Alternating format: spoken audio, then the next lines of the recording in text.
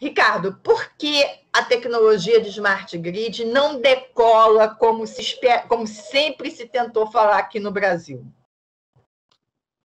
Na verdade, na verdade, assim, né? Falando como, como grupo, né? Nós da Neoenergia entende e, e, tem trabalhado, né, nesse tema de smart grid como um, um vetor importantíssimo do nosso negócio, né? Para a evolução não só da, do ponto de vista de, de eficiência aí da nossa operação, mas também do ponto de vista da, da experiência do cliente.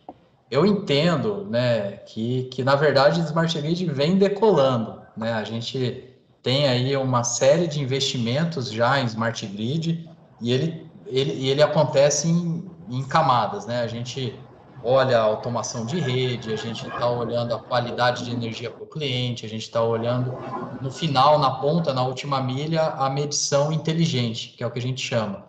Isso a gente já tem aí evoluções, por exemplo, em automação de rede, hoje a Neoenergia já investiu em mais de 13 mil equipamentos religadores, né, que é um equipamento que faz a, aí a recomposição da rede, e 13, 17% desses equipamentos que a gente tem instalado em campo, ele já faz aí o chamado self-healing, né, que é a reconfiguração. Então, eu tenho uma falta de energia em determinado ponto da rede, esse equipamento já se reconfigura e, e, e isola só aquele trecho que está com defeito da rede e reenergiza os outros equipamentos. Isso já é self-healing, né? Então, esse é um, é um, ponto aí que, que a gente aqui no, no Brasil já vem investindo há bastante tempo e já, e já vem utilizando essa rede.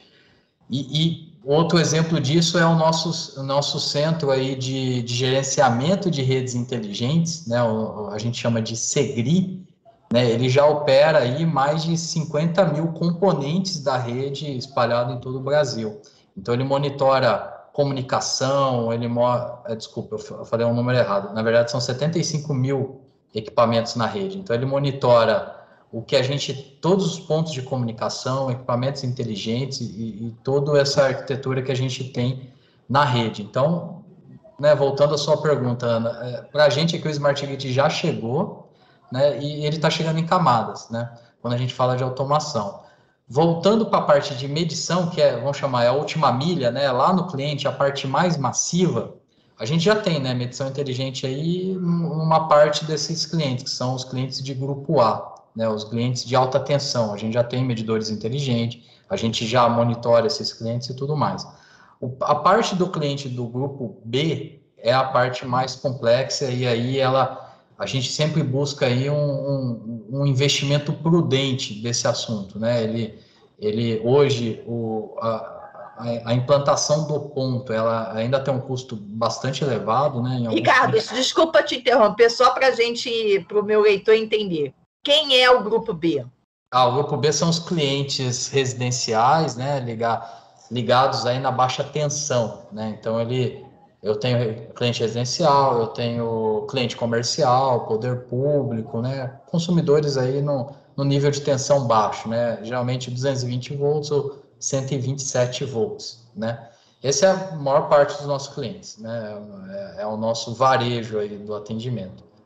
Essa é o que a gente chama de última milha aí da, do Smart Grid, a hora que esse, esse cliente vai ser atendido né, por um medidor inteligente que a gente possa monitorar né, o consumo dele de forma remota e tudo mais. Esse, esse é, o, é o ponto mais complexo dessa, dessa implantação, porque envolve né, um, um elevado nível de investimento, ainda em, em, aspectos que a gente tem que ter aí uma definição é, tecnológica, protocolos de comunicação e tudo mais, porque eu não posso investir e depois ali dois, três anos fazer um reinvestimento. Então, é um, é um, é um nível de investimento mais, mais avançado, né? É, e que a gente, o que, que nós estamos fazendo por hora? Nós estamos experimentando isso. Então, tem um projeto aqui no Brasil muito interessante já, que é o, o Energia para o Futuro lá em Atibaia.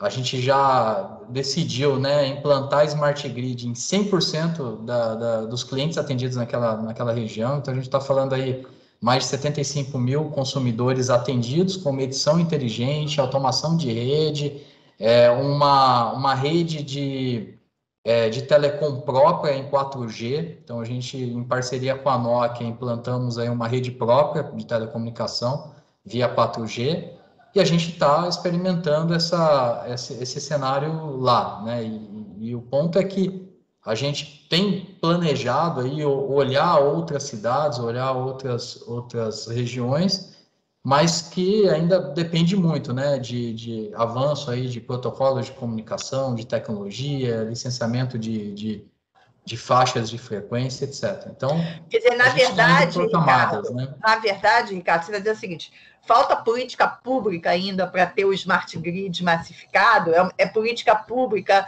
Qual é o gargalo? Qual é o principal gargalo hoje para o smart grid? Quer dizer, é óbvio que é um investimento, é óbvio que você tem que ter recurso, a gente sabe disso, mas qual é o gargalo hoje maior para que o smart grid chegue ao consumidor final? Eu, eu, não, eu não chamaria de, de gargalo, Ana. Eu, eu acho que são etapas de um ecossistema que a gente precisa evoluir. Né? Eu acho que tem um aspecto que envolve a própria né, ANEL. A ANEL já, hoje, né, ela já reconhece investimentos prudentes. Então, por exemplo, se eu fizer um investimento que eu vou combater um, uma redução de perdas ou vou ter algum, algum benefício aí no final na tarifa para o próprio consumidor, ela já permite que a gente faça investimento e, e tudo mais. É, mas a gente precisa avançar nas discussões desse ecossistema de forma é, passo a passo e, e, hoje a gente já tem uma, uma, sinalização nesse sentido. Então, por exemplo, eu falo de, de telecomunicações, a ANEL já vem, a Anatel, né, já vem discutindo aí com, com, com as distribuidoras e com o mercado, né, novas frequências que a gente possa é, avançar, né, ela vem discutindo, por exemplo, nesse, nesse ponto, nesse projeto de Atibaia, ela, ela fez uma autorização de uma, uma licenciamento experimental para a gente, para a gente poder é, testar a tecnologia, olhar e tudo mais. Então, eu, eu vejo que o, os agentes reguladores estão muito atentos a isso. Mas a gente tem uma evolução tecnológica também para avançar. Então, é, nesse contexto de ter uma, uma implantação massiva, eu vou ter que ter aí equipamentos que se interoperáveis, que comunicam com diversas é, licenciamentos de frequência de, de comunicação, enfim, tem aí uma evolução do mercado junto com as políticas públicas para que isso se alinhe de uma, de uma maneira que seja cada vez mais viável, né? E cada vez mais é, viável, tanto tecnicamente como economicamente, né? A nossa, a gente tem uma preocupação com o peso da tarifa, né, a gente tem uma preocupação de quanto isso vai custar para o, para o consumidor final, mas isso é uma, uma evolução gradual aí da, da tanto do mercado quanto da, da regulação existente. E eu acho que a gente está no, no, caminho, acho que está todo mundo discutindo, estudando, e eu acho que aos poucos, aos anos, nós vamos aí avançando nessa, nessa viabilidade de implantação. Mas como eu disse, né, isso nós estamos falando da última milha, né, do, do, do medidor do cliente automatizado. O que já nos traz é, viabilidades, como automação de subestações, automação de rede, tudo isso ela já vem, vem apresentando excelentes resultados e a gente já vem fazendo. Então, hoje eu, eu já considero, de novo, né, na energia, que a gente já tem o Smart Grid implantado. O que a gente está avançando agora são nas próximas camadas aí de, de implantação. Você colocou que em Atibaia tem uma rede privada 4G. Isso. É, para fazer o piloto. Nós estamos aí com o leilão 5G batendo a porta. Exato. Como é que vocês estão avaliando o 5G? O que, que o 5G pode trazer de diferencial nesses projetos? E, é claro, a minha pergunta: há o interesse da Neo Energia de fazer algo com o 5G?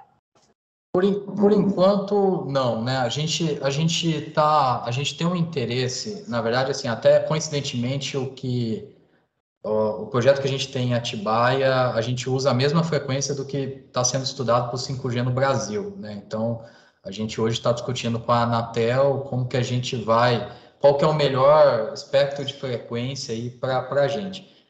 É, Vocês estão usando 3,5? A gente está usando 3,5 em Atibaia tá. e, e aí a gente é um, é um uso experimental, né? Então a gente vai ao final do, do prazo aí do 3,5 mudar para uma outra faixa de frequência. o nosso interesse é, inclusive, usar faixas de frequência lá de, de 800, 810, 800. Hoje o que tem discussão no mercado é 810, para que a gente tenha, inclusive, um maior alcance né, da, da, da de, de, de, de comunicação. Mas a gente vê, acho que a, discussão principal hoje com a Anatel é mais qual o range de frequência que a gente pode usar nas redes particulares na, na, nas distribuidoras. Hoje o, o 4G nos atende muito bem, né? A gente tem serviços críticos, a gente consegue ter um, um, um excelente nível de atendimento de serviços críticos e de, e de, e de medição, né? Que é o ponto principal que a gente acaba testando lá de forma massiva na nesse projeto. O 5G é uma evolução natural. Obviamente, tudo que a gente. O 4G, desculpa, só para o 4G que você vê como interessante, é o de 4G de 700 MHz ou é o 4G em 2,5? Não, o que a gente está usando lá, né, é que assim, nós estamos falando aqui de, de rede privada, né? O, a, o que a gente vê né, como futuro aí da distribuidora, é a gente talvez ter um mix, né? Então, hoje a gente usa lá em Atibaia um LTE privado em 3,5.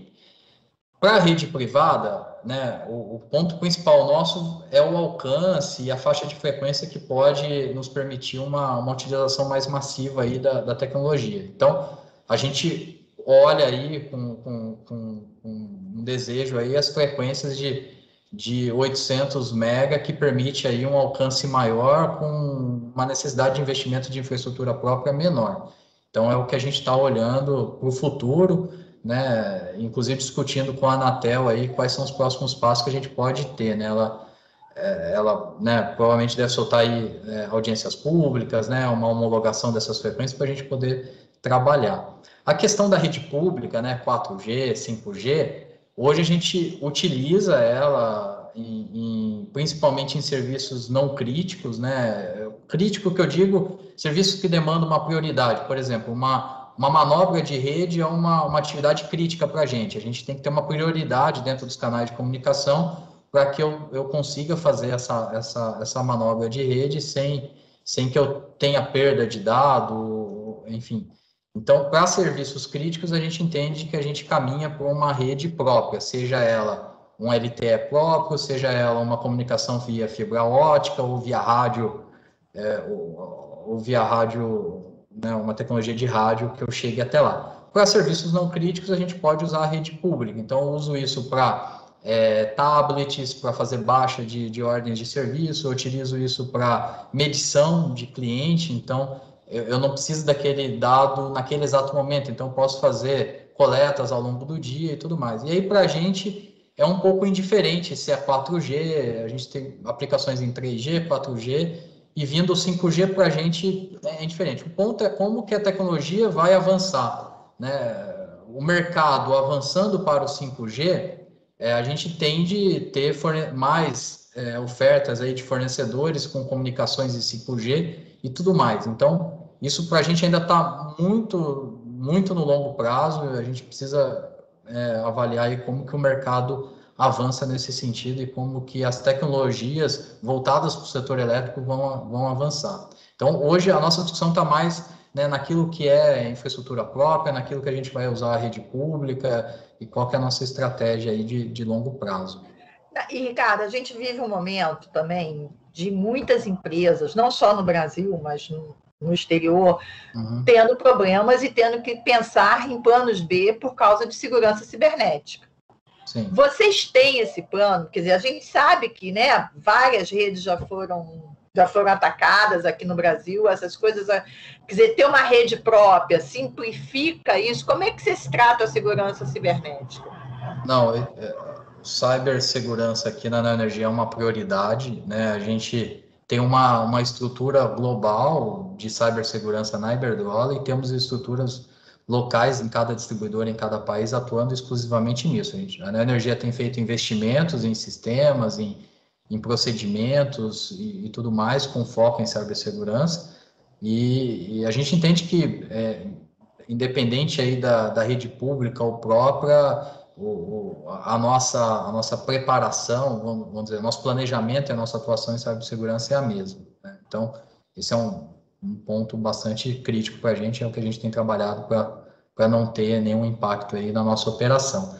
Na operação, é, na parte operacional, inclusive, a gente tem um, uma área de cibersegurança focada na operação, né, nos equipamentos de redes, na, no que a gente tem aí de tecnologia operativa, vamos dizer assim.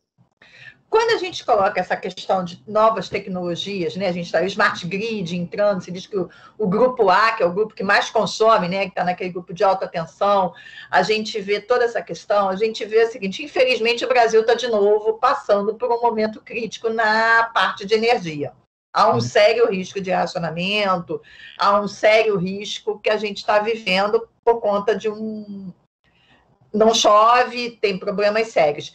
Quer dizer, que as tecnologias, nós já vivemos isso no passado, né? Infelizmente a gente teve apagão no passado. Como que essas novas tecnologias vão ajudar a enfrentar esse momento que está chegando? Quer dizer, essas novas tecnologias, elas podem permitir que, que, se, que o setor elétrico sobreviva melhor a essa crise que a gente está tá batendo a porta no Brasil? É, no, Ana, no, no, curto prazo, obviamente, quem tá, quem é o responsável por tocar, né, quais vão ser as ações de curto prazo para o enfrentamento, né, do, de, de algum tipo de racionamento, de algum, algum ponto da crise, é o regulador, né? Então, a gente, obviamente, nossas áreas regulatórias estão aí interagindo com o regulador, enfim, é, quanto a Smart Grid vai contribuir no curto prazo vai depender muito das ações que a gente vai tomar. Um ponto que, que eu acho que é o aí eu acho que é o diferencial da, da, do smart grid é mais nas ações de longo prazo, né? Eu acho que o investimento em tecnologia que permita que as distribuidoras tenham uma melhor eficiência, reduza perdas. Eu acho que é, é, esse é o ponto principal, né? Como a gente tem uma, uma distribuição de energia mais eficiente. Eu acho que esse que é o, é o, é o grande papel aí das smart grids é, pra, pra, para os clientes. Né? A gente pode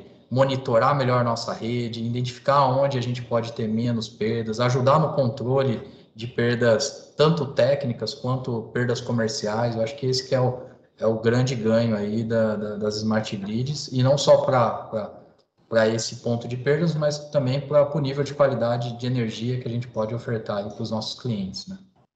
Só para concluir, vocês estão com esse piloto em Atibaia, vocês estão pensando em fazer pilotos em outras cidades?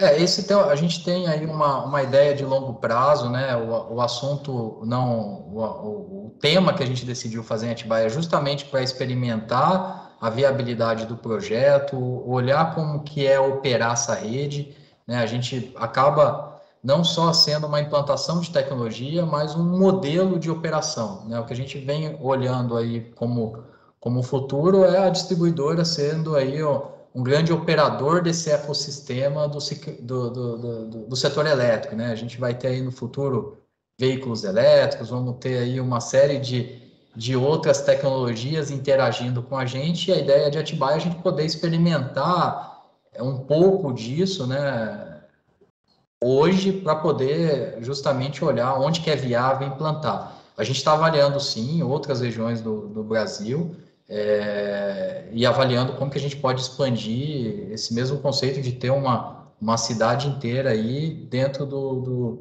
do vamos dizer assim, uma cidade inteira automatizada, né, e podendo explorar, né, principalmente no, quando a gente fala de rede própria de comunicação. Quando eu falo de implantar um LTE próprio, eu preciso né, ter, ter volumetria nessa implantação para justamente ter uma viabilidade melhor. Eu, eu incrementar outros serviços nessa rede própria para que ele se torne viável aí no, no âmbito global. Mas sim, a gente está estudando isso para outros lugares, mas ainda está tudo em fase de estudos e, e viabilidades, tanto técnica como financeiras, para a gente expandir. Que novos serviços seriam, poderiam ser incluídos, Ricardo? Ah, a gente tem, né, uma. A gente olhando aí tanto para mercado como está hoje, né? A gente tem carregamento de veículos elétricos, a gente pode né, usar essa, essa, essa rede para a questão da liberalização do mercado, que é um assunto que está tá sempre na discussão e, e a ANEL, inclusive, está estudando isso, como implantar isso. Né? Tem, recentemente ela abriu uma, uma consulta pública para ouvir um pouco o, o, setor do que, que né, como que a gente pode fazer essa transição. E com, com essa comunicação, eu tendo, exemplo, o perfil de consumo do cliente, eu posso ter um melhor relacionamento com ele, posso apontar com ele oportunidades aí de, de redução de consumo, ou de um consumo mais eficiente, e até o ponto de a gente poder ter aí uma, uma flexibilidade, é, uma flexibilidade não, uma, um oferecimento de, de, de, novos padrões de preço conforme a, o horário de consumo do cliente e tudo mais. Entrando para a parte de veículos elétricos, né, a gente tem aí também carregamento de veículos, tem né, toda essa essa, essa dinâmica aí que, que esse ponto deve, deve trazer aí para o setor. É, o futuro trazendo um pouco a energia como energia as a service, né? Vamos colocar um pouco assim. Exato. Você exato. consumiu, você pagou. Você não consumiu, você não pagou. É um pouco desse modelo que está entrando aí no mercado muito fortemente com, a, com o cloud, com, com a computação em nuvem, com, com o próprio serviço de TI, né? Exato, exato. Acho que, eu, é acho que tem muita coisa aí por vir e eu acho que a gente, como é, a, a, gente como setor elétrico de distribuição, a gente passa a ter um papel aí. Hoje a gente tem um papel de, de distribuir a energia, né? A gente passa a ter um papel de operar esses diversos players aí que, que vão entrar dentro desse segmento, né? Acho que é, a gente vai passar por uma revolução aí de eletrificação de toda a economia, né? É, e aí a, a, distribuidora tem um papel aí de operar, né? Clientes com geração de energia, operar o, o carro que em algum momento vai fornecer energia para a rede, como que né, a gente vai operar diferentes players distribuídos numa mesma área geográfica aí é, nesse setor, né? Acho que esse é um, um grande ponto aí para a evolução aí do futuro. Ricardo, muito obrigada pela entrevista, obrigada pela sua participação aqui com a gente no Convergência Digital. Tá legal, eu que agradeço, Ana. A gente está tá à disposição aí no que vocês precisarem. Tá?